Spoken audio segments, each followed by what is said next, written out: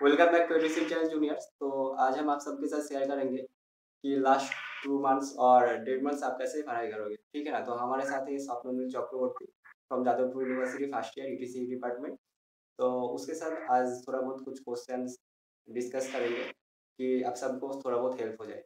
तो पहले स्वप्निल का जो इंट्रोडक्शन है वो पहले देख लेते हैं। तो स्वप्निल तुम तुम्हारा इंट्रोडक्शन देना। Hi guys, uh, so I'm Shopnal Chakraborty. I am currently pursuing my BTech from Jadavpur University, Electronics and Telecommunication Engineering branch.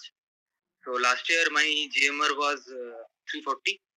So मैंने लास्ट के एक महीने में जो प्रिपेयर किया था वही मैं आज के वीडियो में शेयर करना चाहूँगा आप लोगों के साथ तो मतलब I was actually prepare for JEE advanced and JEE mains basically so in the last one month of WBJ, I started preparing more about WBJ. I was more focused about that. So I did more focus on PYQs. Uh, I did PYQs uh, very hard and I analyzed them. So WBJ में होता क्या है कि मतलब question का number इतना ज़्यादा होता है कि हम लोग सॉल्व नहीं कर पाते हैं क्वेश्चन उतने कम टाइम क्या किया था लास्ट जो डेढ़ मंथ बचे हुआ था तो last one point five months क्या किया था कि तुम्हारा रैंक इतना अच्छा आया था? uh, मैंने पहले तो मैंने जब मुझे पता चला कि अब बस दो महीने बाकी है तो मैंने पीवाईक्यू करना स्टार्ट कर दिया था। अब जब पीवाईक्यू मतलब 2017 या 18 तक मेरा हो गया तो मैंने क्या किया उसको एनालाइज करना शुरू किया कि कहाँ कहाँ मेरा वो प्रॉब्लम हो रहा है कि कहाँ कहाँ मार्क्स जा रहा है। तो मैं हर रोज क्या करता था रिवीजन करता था चैप्टर्स का उसके बाद मैं दिन के एंड में मैं एक मॉक टेस्ट देता था। और उसमें जो मार्क्स आता था, उसके बेसिस में मैं अगले दिन उसको एनालाइज करता था कि उसमें मेरा क्या मतलब मार्क्स में मतलब डिडक्शन हुआ है या फिर मतलब कहा मैं थोड़ा इम्प्रूव कर सकता हूँ? कौन से एक्स्ट्रा चैप्टर्स है जो मैंने नहीं किए थे? मतलब एडवांस में क्या होता है कि आप पूरा सिलेबस नहीं करते हो। वहाँ पर कुछ सिलेबस आप बहुत अच्छे से करते हो और डब्ल्यू में होता है कुछ चैप्टर्स ऐसे होते हैं जहाँ पे आपको डेप्थ में नहीं जाना होता है। बस ऊपर ऊपर भी आप कर लोगे तो आपका हो जाएगा। तो आपको पहले वो चैप्टर्स को आइडेंटिफाई करना है कि कहाँ का आपका वो स्कोर हो सकता है। तो अगर आपने वो कर लिया तो वहाँ पर आपका स्कोर बढ़ सकता है। और डब्ल्यू में मैंने एक चीज़ नोटिस किया था, जो मेरा पर्सनल ओपिनियन है कि ऐसे बहुत से क्वेश्चंस होते हैं जो अपेरेंटली हमको लगते हैं कि बहुत इजी है या फिर हो जाएगा। बट हम जब उसको करते हैं ठीक से तब पता चलता है कि उतना इजी शायद नहीं है मतलब कॉन्सेप्ट कुछ बड़ा है।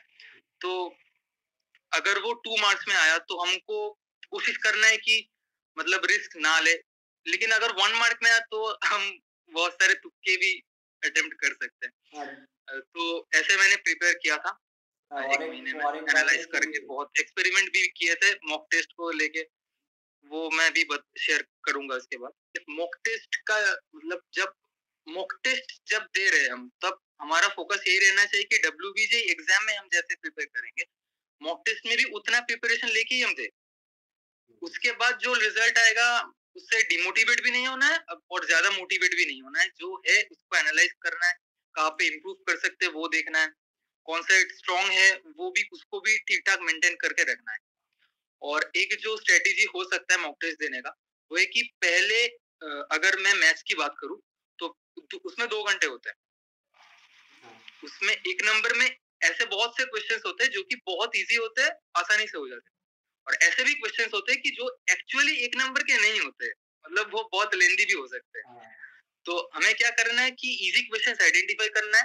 पहले एक घंटे में उनको एकदम से निपटा देना है कि जो भी इजी है मुझे आता है मैं पहले एक घंटे में निपटा दूँगा उसके बाद मैं टू मार्क्स पे चला जाऊँगा। क्योंकि मुझे टू मार्क्स को ज़्यादा एम्फोसाइज देना है क्योंकि उसमें मुझे ज़्यादा मार्क्स मिलेगा। हाँ सही है। तो मैंने जब मैंने डब्ल्यू के लिए प्रिपेयर किया था मतलब ऐसे ही किया था और एग्ज़ाम के दिन मैंने एग्जैक्टली exactly यही किया था। पहले 45 50 मिनट्स में मैंने एक नंबर जितना हो सकता था मैंने किया उसके बाद मैं टू मार्क्स पे चला गया। उससे मेरा स्कोर काफ़ी इम्प्रूव हुआ। तो तो स्वप्निल और एक क्वेश्चन है कि तुमने कौन सी सब्जेक्ट पर ज़्यादा फोकस किया था कि तुम्हारा मार्क्स इम्प्रूव इतना ज़्यादा किया हुआ था so actually I was a dropper so last year जब मैंने प्रिपेयर किया था, तब मेरे मैथ्स में बहुत ही कम मार्क्स आए थे। इसके वजह से मेरा रैंक भी सही नहीं आया था। So in my first year actually जब मैंने फ़र्स्ट अपियर किया था डब्ल्यू के लिए, उसके बाद लास्ट ईयर सो मैंने मैथ्स पे बहुत ज़्यादा फोकस किया कि मैथ्स इस बार खराब नहीं होना चाहिए। तो और मेरा स्ट्रॉन्गेस्ट सब्जेक्ट शायद मैं फिजिक्स बोलूँगा। और, लेकिन ये भी नहीं कि केमिस्ट्री को इग्नोर करना है, नहीं। वो बहुत स्कोरिंग होता है डब्ल्यू में। तो मेरे मैथ्स को मैं बोलूँगा कि उसको टॉप लिस्ट में रखना है, क्योंकि उसमें फिफ्टी परसेंट मार्क्स डिपेंड करता है। तो यही, और फिजिक्स केमिस्ट्री तो करना ही है, लेकिन मैथ्स को थोड़ा ज़्यादा इम्पोर्टेंस दे तो इट्स बेटर यहाँ पर और एक पॉइंट है कि डब्ल्यू मोस्ट इम्पोर्टेंट चैप्टर्स का लिस्ट आपको मेरे चैनल पर मिल जाएगा, और ये जो वीडियो है, इसका डिस्क्रिप्शन में भी हम दे देंगे, ठीक है ना? तो वहाँ से भी आप चेक कर सकते हो। तो आज का वीडियो यहीं तक, मिलते हैं नेक्स्ट वीडियो में, तब तक के लिए टाटा टेक केयर बाय